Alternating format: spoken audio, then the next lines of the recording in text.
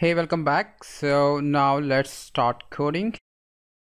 Let's go to can init and h can dot sorry can one dot instance is equal to can one right? So that's the base address of the can one peripheral.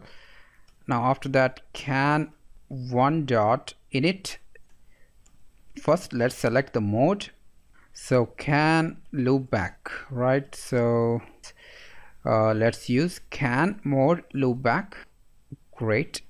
Now after that init. So auto bus off. You can make it as disable. So that's not that important for our application. Now can one init. So auto retransmission. Yes we need it. So let's make it enable. To that auto wake up so this is to do with uh, low power modes. So I don't think we need to use here. Let's keep it disable. And after that so we have already configured the mode prescaler right? So now before that let me configure receive FIFO locked. So let's keep this as disable. Let's see what exactly it does okay? So let's explore this member element. So enable or disable the receive FIFO locked mode.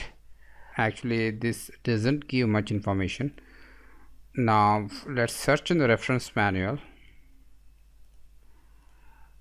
Okay so let me go to the can section here. Okay so let me search for locked. Okay so here it is. Receive FIFO locked. So if you actually it is by default zero okay? Now if it is zero uh, receive FIFO not locked on overrun. Let's consider a receive FIFO zero. So which has capacity to store three can messages okay? Once the receive FIFO is full the next incoming message will override the previous one if it is zero. So if it is one then what happens? Receive FIFO locked against overrun. Once the receive FIFO is full the next incoming message will be discarded okay? That's the meaning of that let's use that as disable. So let it be zero. Let it always replace the previous message okay? So that we always have the latest message. All right so now let's use the next one. Time triggered mode. I think we can keep it as disable okay?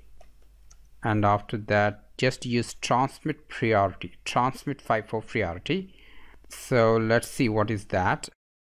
Priority. So let's search for priority. So here it is. Transmit FIFO priority. So this is actually in this is actually in can master control register okay?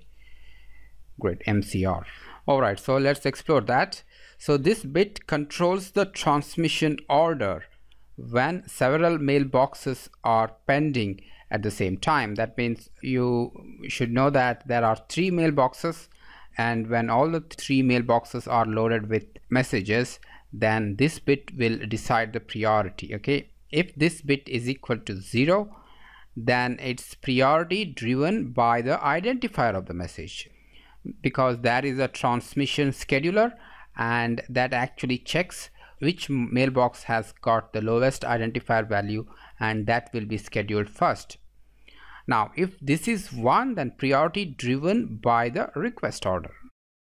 That means the identifier value will not be given any importance.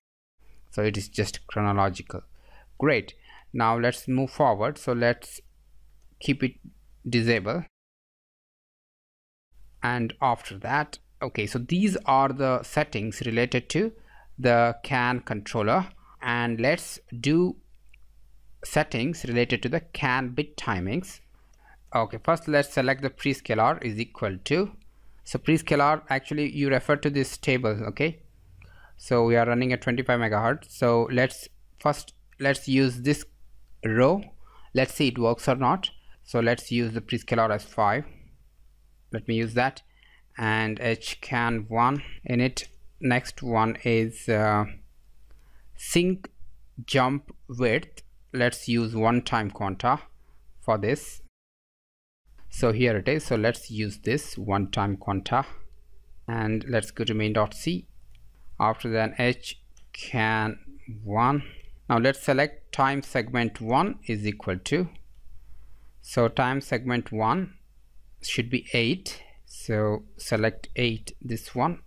And after that again you have to repeat this for segment 2 segment 2 is equal to segment 2 is 1 let's do that. Okay fine. Here it is. So we actually did all the settings. Now let's call the init API now in order to know the init API it's better to go to the driver can.c and we have got HAL can init okay so you just have to pass the address of the handle. Great so let's do that. So simple let's go to the main and if and of h can 1 not is equal to HAL okay error handler. Awesome so we just finished can initialization right? So it should work at 500 kbps so complete up to here and I'll see you in the next lecture